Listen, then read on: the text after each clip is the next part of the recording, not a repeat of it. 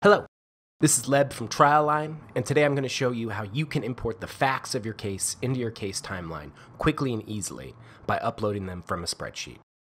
This is a very helpful TrialLine feature because it allows you to populate all of the facts and events on your TrialLine in one step. From the dashboard, first create a new TrialLine by clicking the Create a New TrialLine button, or select an existing TrialLine that you are going to upload the facts to and click the View button.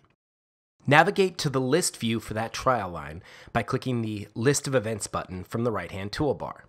From the list view, click on the Download Template button and choose the appropriate template, Basic or Full Features. Both of these templates will enable you to upload your case facts and details. The only difference between the two is that the full features template includes fields for medical provider details, while the basic template does not. Open the template and start adding your information.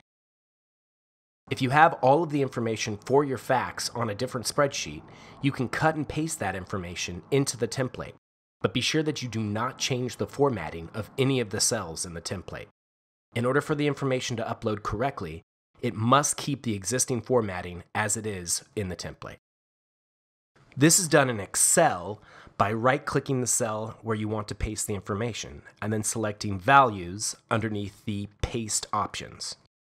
It's important to note that there are three required fields, Event Title, Start Date, and Category. All of your facts and events must have information for those three fields in order for them to display on your TrialLine. Once you have all the information prepared in your template, go back to the List view for your TrialLine and click the Upload Spreadsheet button. Select the appropriate file from your computer and click the Upload File button. You'll now see all of your facts and events visible in your TrialLine. You can edit each entry as needed, and you can also attach media, upload thumbnails, and edit the categories. And that is how you upload your case facts in TrialLine quickly and easily using a spreadsheet. Go to trialline.net today to start your free two week trial period and learn how TrialLine helps you show your story.